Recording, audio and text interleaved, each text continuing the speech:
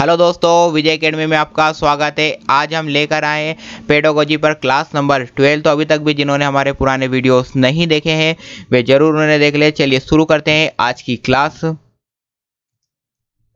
पहला प्रश्न, निम्न में से कौन सी अधिगम की विधियाँ हैं? अवलोकन विधि करके सीखना, सुप्त अधिगम व सामूहिक विधि या ये सभी। तो देखिए अधिगम की कौन कौन सी विधियाँ होती है, जब हमने आपको इस चीज़ का सिलेबस पढ़ाया था तो हमने आपको वहाँ नहीं बताई थी। इसलिए हमने आज इस वीडियो में उसे शामिल की है तो हम पहले देख लेते हैं कि अधिगम की कौन कौन सी विधियाँ होती है, उसके बाद हम इसका आंसर देंगे। तो देखिए, अधिगम की कुछ प्रमुख विधियाँ हैं मतलब लर्निंग की कौन कौन सी महत्वपूर्ण विधियाँ हैं तो वो निम्नलिखित हैं। देखिए, सबसे पहले कौन सी विधि है? प्रेक्षण विधि प्रेक्षण विधि में सबसे पहले क्या होता है? देखिए, ये एक ऐसी विधि होती है जिससे इस विधि के द्वारा सबसे पहले कोई भी बालक है तो वो क्या होता है? जल्दी से जल्दी सीख लेता है और साथ ही साथ वो जो भी इससे सीखता है इस विधि के अंदर, उसे वो लंबे समय तक याद रहता है। और इस विधि का जो प्रतिपादन क्या है? वो किसने कहा? बेंडूरा ने किया है। तो एक बार अब हम इसे रीड कर लेते हैं। यह शिक्षा मनोवैज्ञानिकों का मत है कि बालक किसी प्रक्रिया को प्रेक्षण के द्वारा जल्दी या अधिक जल्दी से सीख लेता है और इस विधि में बालक जल्दी से सीख लेता है और सीखने के बाद उसे लंबे समय तक धारण करता है। मतलब क्या जल्दी से एक तो सीख जाते हैं और साथ ही साथ लंबे समय तक वह इसे क्या करता है? याद रखता है। तो यह होती है प्रेक्षण विधि और इसके प्रतिपादन किसने किया था तो? बेंडूरा ने किया था। तो आपको इसे इंपॉर्टेंट मार्क कर लेना है कि इस विधि का प्रतिपादन किसने कहा है? तो बेंडूरा ने किया है। बात करते हैं, अब हम आगे दूसरी विधि पे, एक होती है प्रेक्षण विधि। अधिगम की अगर सीखने की विधियों की बात करें तो अब दूसरी होती है विवेचना विधि। विवेचना विधि क्या होती है? इसमें देखिए, जो भी मतलब एक तो सबसे पहले स्टूडेंट को क्या होता है ग्रुप में रखा जाता है और साथ ही साथ वो कोई भी उन्हें विषय दिया जाता है तो वो उसके क्या मेरिट्स हैं, क्या डीमेरिट्स हैं, उसके क्या लाभ है, हानि है, क्या उसके गुण हैं, दोष है, इन सब पे विवेचना करते हैं। और फिर जो बालक के जिस विषय में अगर कुछ रुचि है तो वो क्या करते हैं, उसके हर एक पहलू का मूल्यांकन करता है, हर एक पहलू को देखता है और फिर एक वह निष्कर्ष पर पहुँचता है। तो यह होती है विवेचना विधि और इसमें इबेल ने क्या कहा है इबेल का मत है कि चूँकि जब छात्रों छात्रों में सहभागिता की भावना, इस विधि में क्या होता है कि छात्रों में सहभागिता की भावना बढ़ती है और सहभागिता की भावना उत्पन्न होती है, इसलिए इस प्रकार से सीखा गया या ग्रहण किया गया विषय बालकों को अधिक समय तक याद रहता है। इनका ईबेल का क्या बोलना था? ईबेल का कहना था कि भैया, इस विधि में जितने भी मतलब छात्र हैं या स्टूडेंट्स हैं, वो मतलब पार्टिसिपेट, मिलजुल के करते हैं तो उनमें एक तो सहभागिता की भावना मिलती है, साथ ही साथ उनमें टीम भावना बढ़ती है और जो भी वो सीखते हैं वो एक तो उन्हें लंबे समय तक याद रहता है। तो आपको इनमें ये जो विधियाँ हम पढ़ा रहे हैं, इसमें याद क्या रखना आपको केवल इतना सा याद रखना है कि कौन कौन सी विधियाँ और केवल आप उनके नाम याद करेंगे। और इससे ज़्यादा आपको इसमें कुछ भी नोट करने की आवश्यकता नहीं है।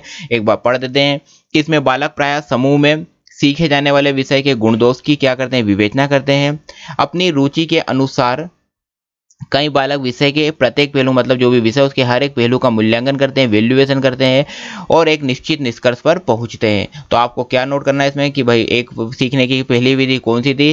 पहली विधि का नाम क्या था? प्रेक्षण द्वारा सीखना। ये लिख लीजिए, इसमें लिख लीजिए विधि के प्रतिपादक का नाम ज़रूर लिख लीजिए। बेंडोरा है। उसके बाद हम बात करते हैं कि दूसरी विधि कौन सी थी? तो दूसरी विधि थी विवेचना विधि। केवल आप नाम नोट करते जाइए। अब बात करते हैं हम आगे, करके सीखना। करके सीखना मतलब क्या होता है कि कुछ भी आप काम अगर आप सीख रहे हैं तो आप खुद ही उसको स्वयं कर करके देख रहे हैं। मान लीजिए जैसे हम आपको आज हमने अकाउंटिंग के ये जनरल एंट्रीज पढ़ाई तो हमने आपको जनरल एंट्री पढ़ाई तो अब आप उसके बाद क्या करें जनरल एंट्री बना बना के स्वयं देख रहे हैं। तो क्या होता है, ये इससे कहते हैं कि करके सीखना या स्वयं सीखना। अगर आप ऐसा कर रहे हैं तो इससे क्या होगा, आप तेज़ी से उस कार्य को सीख लेते हैं। देखिए, आपने कहीं ना कहीं पेड़ों का अभी तक जितने भी वीडियोज़ देखे होंगे तो आपको एक बात तो समझ में आ गई होगी कि पढ़ने का क्या तरीका होता है। जैसे थार्नेडाई का सिद्धांत क्या बोलता है कि कोई भी आप नई चीज़ पढ़ेंगे तो शुरू में त्रुटियाँ होंगी, लेकिन जैसे जैसे आप लगातार आप प्रयास करते जाएँगे, आपकी त्रुटियों की संख्या उसी अनुपात में कम होती जाती है और एक समय ऐसा भी आ जाता है, जिस समय आप कोई त्रुटियाँ नहीं करते हैं और वो पूरा काम त्रुटि रहित आप संपन्न या पूर्ण कर देते हैं। तो ये थार्नेडाइक का सिद्धांत है यहाँ पे भी देखिए क्या बोल रहे हैं, करके सीखना, अगर आप करके सीखते हैं तो क्या होगा, आप एक तो उस कार्य को तेज़ी से सीख लेंगे। तो यह तीसरी विधि थी। इसका भी आप नाम नोट कर ले कि करके सीखना है, एक विवेचना द्वारा विधि है, एक प्रेक्षण विधि है, करके सीखना विधि है। अगली विधि क्या है? आवृत्तिकरण या तथा पुनः हाँ निरीक्षण विधि। तो यह विधि क्या होती है? ये जो ये जो विधि है, आवृत्तिकरण और जो पुनः निरीक्षण है, ये दोनों वर्ड एक दूसरे के कैसे हैं? पूरक है। आवृत्तिकरण विधि में बालक किसी पाठ को क्या करता है? सीख लेने के बाद उसे क्या करता है, मन ही मन में दोहराता है। मतलब देखिए, हम आपको अगर कुछ पढ़ाते हैं तो आप उसको याद कर लेते हो। तो याद करने के बाद आप उसको क्या करते हैं, एक बार बोल के देखें। अपने मन में उसका रिवीजन करके देखें कि आपको प्रॉपरली याद आ रहा है या नहीं। और अगर आपको अगर प्रॉपरली याद आ रहा है, सारे पॉइंट्स याद आ रहे हैं तो ये बात आप समझ लीजिए कि आपको टॉपिक अच्छे से समझ में आ गया है। और अगर वो आपको कहीं भी छूट रहा है या पूरा प्रॉपरली याद नहीं आ रहा है तो फिर आप उसे एक बार और रिविज़न कर लें। और अगर आपको कोई कॉन्सेप्ट नहीं समझ में आता तो आप दोबारा उस वीडियो को देख ले आप डेफिनेटली समझ में आ जाएगा दो बार देखने पर तो, तो देखिए इस विधि में बालकों को अपनी भूल सुधारने का क्या उचित अवसर मिलता है? और वे जिससे वे सक्रिय होगा विषय को सीखने के लिए प्रेरित होगा। उठते हैं। तो देखिए, आवृत्ति क्रम पुनः निरीक्षण विधि क्या होती है? अब आप समझ गए होंगे कि जो भी आप सीख लेते हैं, उसे मन में ही मन में दोहरा के देख लीजिए। आपको याद आ रहा है तो आपको प्रॉपरली टॉपिक समझ में आ गया। अगर आपको याद नहीं आ रहा है तो फिर आपको क्या होता है? देखिए, भूल सुधारने का। क्या लिखा है यहाँ पर? भूल सुधारने का एक उचित अवसर मिल जाता है। बात करते हैं हम अगली विधि पर। रटकर या समझ कर सीखने की विधि। देखिए, हमने आपको कल भी बताया था, अगर आप कुछ भी चीज़ें, अगर रट के सीख रहे हैं तो वो एक लर्निंग नहीं है। रट के सीख रहे हैं तो आप अगर, और समझ कर सीखना क्या होता है? कुछ भी आपके टॉपिक को पढ़ रहे हैं, आप उसके पहलुओं को समझ रहे हैं। साथ ही साथ उसमें कुछ आपका, खुद का कुछ एडिशन कर रहे हैं। आप अगर आपने कुछ चीज़ पढ़ी है, उसको आपने समझ लिया तो आप उसमें कुछ मतलब दाएँ और बाएँ भी आप सोच पा रहे हैं, उसे समझ पा रहे हैं। तो उसे समझ कर सीखने की विधि कहते हैं। तो देखिए, इस और सोलो मोन ने क्या कहा है कि इन विधियों से सीखे गए विषयों के स्वरूप तथा सीखने वाले बालकों के व्यक्तित्व प्रकाश डाला जाता है। देखिए, इन्होंने क्या कहा कि जो रटने की विधि होती है वो छोटे बालकों के लिए अधिक उपयोगी होती है, लेकिन बड़ों के लिए जो कौन सी समझकर सीखने की विधि बड़ों के लिए अधिक प्रभावकारी होती है। बस आपको भी यही करना है। आपको हर एक चीज़ को रटना नहीं है। पहले तो आपको हर एक चीज़ को समझना है और जब समझ में आ जाएगी तो अपने आप ही वो आपको याद हो जाएगी। तो देखिए, ये पाँच विधियाँ थी। एक तो होती है, इसको आप नोट कर लीजिए। जो जो हमने हाईलाइट किया है आपको, एक तो होती है रट कर रट कर तथा समझकर सीखने वाली विधि एक ये विधि थी। एक विधि थी आवृत्तिकरण और पूरा निरीक्षण विधि। एक विधि थी करके सीखना विधि। एक विधि थी विवेचना विधि।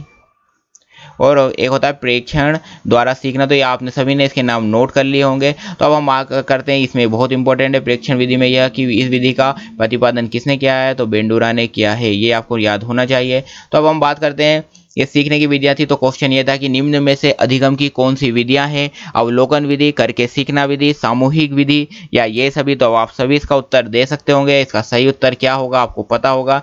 तो देखिए इसका जो सही उत्तर है, वह है डी, ये सभी। अब हम बात करते हैं आगे।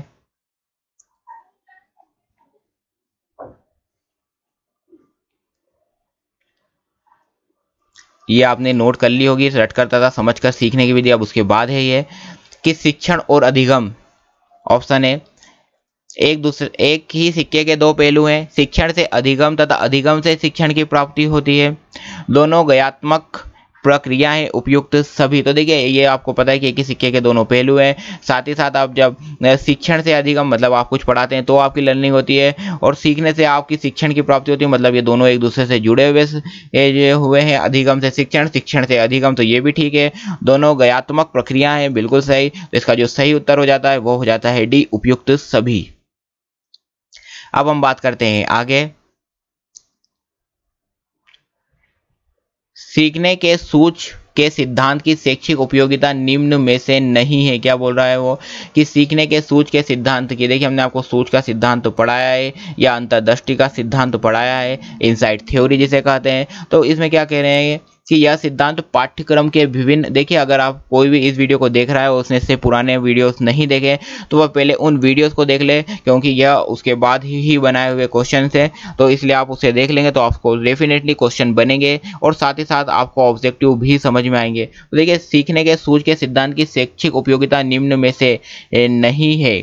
यह सिद्धांत पाठ्यक्रम के विभिन्न विषयों को समग्र करने पर बल देता है। यह सिद्धांत यह सिद्धांत के अनुसार अंतर्दृष्टि का उपयोग बालक तभी कर सकता है जबकि उसे संपूर्ण परिस्थिति का ज्ञान हो। यह सिद्धांत समय पर सीखने पर बल नहीं देता है। यह सिद्धांत का प्रयोग कठिन विषयों जैसे गणित भौतिक शास्त्र विज्ञान के अन्य विषयों के लिए अत्यंत उपयोगी होता है। तो देखिए, जो इनसाइट थ्योरी या सूच का सिद्धांत है ये बोल रहे हैं कि वो शैक्षिक उपयोगिता मतलब उसका जब हम टीचिंग करते हैं या पढ़ाते हैं तो उसमें से निम्न में से कौन सी नहीं है? तो यह इसका जो पॉइंट नंबर सी है, वो नहीं है। उसमें लिखा है कि यह सिद्धांत समय पर सीखने पर बल नहीं देता है। तो यह क्या है? यह इसका सही उत्तर है। तो इसका सही उत्तर क्या है? सी अब बात करते हैं हम आगे। आप ये सब नोट कर लीजिए। काफ़ी बच्चे नोट्स बना रहे हैं, मैं उन्हें फिर एक बार कहूँगा वेरी गुड और साथ ही साथ ये हमारा व्हाट्सएप नंबर है। अगर आपको कहीं भी कहीं कुछ डाउट आता है तो आप हमें वो डाउट अगर आप किसी बुक से पढ़ रहे हैं, वहाँ पर आपको उसका कुछ कंसेप्ट नहीं समझ में आया हो तो आप हमें व्हाट्सएप पर वो पिक भेज दीजिए। काफ़ी सारे बच्चों ने भेजी है और मैंने उनका अभी तक रिप्लाई नहीं किया है, क्योंकि उनके जो क्वेश्चन थे वो काफ़ी बड़े हुए हैं। उन्हें व्हाट्सएप को रिप्लाई में नहीं समझाया जा सकता है। इसके लिए उनके क्वेश्चन को नोट डाउन कर लिया है और जब हम उस टॉपिक को पढ़ेंगे तो ज़रूर डिस्कस करेंगे और अगर किसी के टॉपिक क्वेश्चन या डाउट रह जाता है तो वापस से जिस समय हम वो यूनिट पढ़ें तो आप आपकी बुक पर एक पेज नंबर बना लें। और जब हम पढ़ें तो उस समय भेज दीजिए तो ज़्यादा अच्छा रहेगा। तो ये हमारा व्हाट्सएप नंबर है eight nine six two four two nine six five three और साथ ही साथ ही आप जिन्होंने भी हमारे चैनल को अभी तक सब्सक्राइब नहीं किया है, वे ज़रूर सब्सक्राइब करो। बेल आइकन पे क्लिक करें ताकि जो भी हमारे वीडियोस हम डालें, उसका तुरंत आपको नोटिफिकेशन मिले। साथ ही साथ लाइक करना और शेयर करना बिल्कुल भी ना भूलें ताकि जो भी बच्चे घर से बैठ के तैयारी कर रहे उन तक यह वीडियो पहुँच सके। तो बात करते हैं अब हम आगे।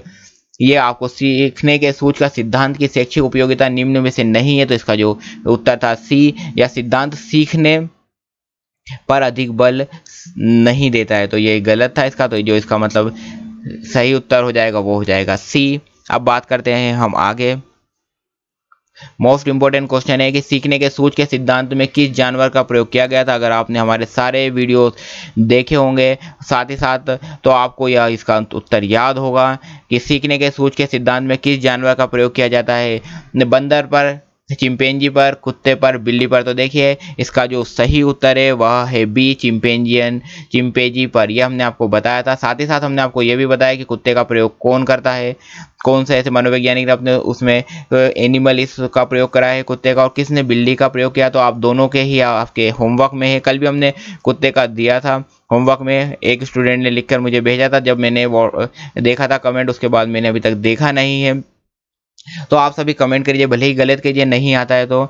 लेकिन आप तो ये आपके होमवर्क में आपको लिखना है डॉग उसके बाद जिसका आप नाम लिख रहे हैं, वो लिख दें, उसके बाद कैट उसके बाद उसका नाम लिख दें। ये होमवर्क में इसका जो सही उत्तर है, सीखने के सूच के सिद्धांत किस जानवर पर प्रयोग किया था तो इसका सही उत्तर है बी चिंपेंजी पर। बात करते हैं अब हम आगे।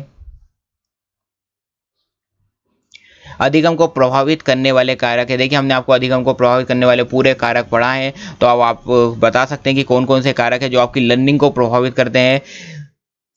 अगर किसी ने उस वीडियो को नहीं देखा है तो वो ज़रूर देख ले तो आपको डेफिनेटली इसका आंसर मिल जाएगा। और जो लोग रेगुलर देख रहे होंगे उन्हें इसका आंसर पता होगा कि अधिगम को प्रभावित करते हैं तो भूख और परिपक्वता मेच्योरेशन ये मेच्योरिटी जिसे कहा जाता है, भूख एवं परिपक्वता बिल्कुल ये प्रभावित करते हैं, प्रशंसा और निंदा प्रभावित करती है। शिक्षण पद्धति की पढ़ाने का किसका, कैसा तरीका है, वो वो प्रभाव, प्रभावित करता है हमारी पढ़ाई को, और साथ ही साथ जो हम अभ्यास करते हैं, प्रैक्टिस करते हैं ये तो ये सभी हमारे सीखने को प्रभावित करते हैं तो इसका जो सही उत्तर है, वह है डी, ये सभी। जिसने भी उस वीडियो को नहीं देखा है, वो देख ले, उससे डेफिनेटली ये क्वेश्चन बड़ी आसानी से बन जाएगा। बात करते हैं अब हम आगे। सीखने में रुकावट आने का कारण है। देखिए, अगर आप कुछ भी चीज़ सीख रहे हैं तो उसमें किस कारण से रुकावट आती है? तो रुकावट आने का कारण क्या है? पुरानी आदतों का नई आदतों से संघर्ष, कार्य की जटिलता शारीरिक सीमा तो ये सभी की सभी जो आदतें हैं, जैसे आपकी पुरानी आदतों का नई आदतों से संघर्ष, जैसे मान लीजिए आप हमेशा ही आठ से नौ बजे सोकर उठते थे, अब मान लीजिए आप इसकी तैयारी कर रहे तो आपने सोचा होगा छः बजे उठ जाऊँ छः बजे से पढ़ाई कर लूँ तो ये जो पुरानी आदतों का नई आदतों से संघर्ष है, ये आपके सीधी बातें सीखने में रुकावट डालेगा। कार्य की जटिलता, पेडोगॉजी एक कठिन सब्जेक्ट है तो अब आपको ये थोड़ा सा आपके सीखने में रुकावट डाल रहा होगा। आपकी शारीरिक सीमा, मान लीजिए कोई एक दो घंटे पढ़ के थक जाता हो तो ये सभी सीखने पर क्या होती है? रुकावट डालती हैं। तो इसका जो सही उत्तर हो जाता है, वो हो जाता है डी उपयुक्त सभी। देखिए, कई लोगों ने मुझे बोला था कि, सर, कई बार मोबाइल पर हम वीडियोस देखते हैं तो हमें नहीं दिखता है। तो और कई बार किसी ने यह भी कहा कि, सर वॉइस क्लियर नहीं आती है। तो देखिए, हम उस पर एक तो इम्प्रूवमेंट हमारा जारी है, ताकि आपको कोई प्रॉब्लम नहीं आए। आप हमारे वीडियो को देखते हैं। साथ ही साथ आप जब यूट्यूब पर आपके वीडियोज़ हमारे देखते होंगे तो आपको देखिए राइट हैंड साइड पर तीन बिंदियाँ दिखती होंगी। उन तीन बिंदियाँ जो हो, आपको होंगी उस पर हम आपसे निवेदन करेंगे जो एक आप ये तीन बिंदियाँ होती है आपके राइट हैंड साइड पे इस पर आप जब क्लिक करेंगे तो आपको एक क्वालिटी का ऑप्शन मिलेगा। उस क्वालिटी के ऑप्शन पे आप, क्योंकि हमारे, हमने हमारी टीम से बात की थी तो उन्होंने यही कहा कि अगर ये क्वालिटी अच्छी क्वालिटी पर चलाएँगे तो वीडियो डेफिनेटली विजिबल होंगे। तो आप तीन सौ साठ या इससे ज़्यादा पर अगर हमारे वीडियो को चलाएँगे तो डेफिनेटली अच्छे दिखेंगे अगर फिर भी आपको प्रॉब्लम आती है तीन सौ साठ पर चलाने के बाद भी तो आप हमें कमेंट बॉक्स में लिख सकते हैं, या आप हमें हमारे व्हाट्सअप नंबर पर लिख सकते हैं। तो बात करते हैं आप, हम आगे। लक्ष्य प्राप्ति में सूझ का कितना महत्व है? मान लीजिए आप जो भी लक्ष्य को प्राप्त करना चाहते हैं, उसमें सूझ या समझ का कितना महत्व है या महत्व माना जाता है? यह कथन किसका है? गोरी सन ने दिया है, मैकडुगल ने दिया है ड्रेवर ने दिया है, स्किनर ने दिया है। तो इसका जो लक्ष्य प्राप्ति में सूझ का महत्व किसने माना है? मतलब आप कोई भी लक्ष्य को प्राप्त करना चाहते हैं तो आपकी सूझ और समझ का कितना महत्व है उस लक्ष्य को प्राप्त करने में? ऐसा किसने माना है? तो इसका सही उत्तर है सी ड्रेवर ने माना इसे आप इंपॉर्टेंट मार्क कर लें इंपॉर्टेंट क्वेश्चन है ये, एक मोस्ट इंपॉर्टेंट क्वेश्चन है, इसे आप इंपॉर्टेंट ज़रूर लगा लें। साथ ही साथ ये क्वेश्चन में इंपॉर्टेंट लगाना भूल गया था। ये वाला क्वेश्चन तो इसे भी नोट कर लें आप, ये एक इम्पोर्टेंट क्वेश्चन है कि सीखने का सोच के, सिद्धांत में किस जानवर का प्रयोग किया गया था मोस्ट इंपॉर्टेंट क्वेश्चन है, बताने से रह गया था। तो आप इसे इंपॉर्टेंट मार्क कर लें। साथ ही साथ ये जो डॉग है केट है, ये भी इंपॉर्टेंट है, इनके भी कॉन्सेप्ट क्योंकि पूछे जा सकते हैं। और ये सब हमने आपको काफ़ी कुछ पढ़ा रखा है तो काफ़ी आपको समझ में आ रहा होगा। लक्ष्य प्राप्ति में सूच का क्या महत्व है तो ड्राइवर ने दिया है यह बात करते हैं अब हम आगे कि सीखने की प्रक्रिया की मुख्य विशेषता, पठारे, यह कथन किसका है? सोरेनसन का, रॉस का, रेक्स का, नाइट का। किसका कथन है? सीखने की प्रक्रिया की मुख्य विशेषता पठार है। इसे आप इंपॉर्टेंट मार्क कर लें। ऑप्शन है, सोरेनसन का, रॉस का, रेक्स का, नाइट का। तो देखिए, सीखने की प्रक्रिया इसे इंपॉर्टेंट लगा लें कि, सीखने की प्रक्रिया की मुख्य विशेषता का पठार है। तो इसका जो सही उत्तर है, वह है बी रास का इंपॉर्टेंट मार्क कर लें। और ये हमारा व्हाट्सएप नंबर है। जिनके ने भी अभी तक व्हाट्सएप नंबर नहीं है, उसे हमें व्हाट्सएप नंबर पर हाई लिख के भेजें। हम उसे एन e की बुक्स हमें जो आपके सोशल साइंस से रिलेटेड सब्जेक्ट्स है, उसकी भी एन e साथ ही साथ कॉमर्स की भी हम एन e आपको भेज देंगे। और अभी भी जिन्होंने हमारे चैनल को सब्सक्राइब नहीं किया है, वे प्लीज़ सब्सक्राइब करें और ज़्यादा से ज़्यादा हमारे वीडियोस को शेयर करें ताकि जो लोग घर से बैठ कर तैयारी कर रहे हैं, वो भी उन्हें भी हमारे वीडियो उन तक पहुँच पाए। और लाइक करना बिल्कुल भी ना भूलें। Thank you for watching Vijay academy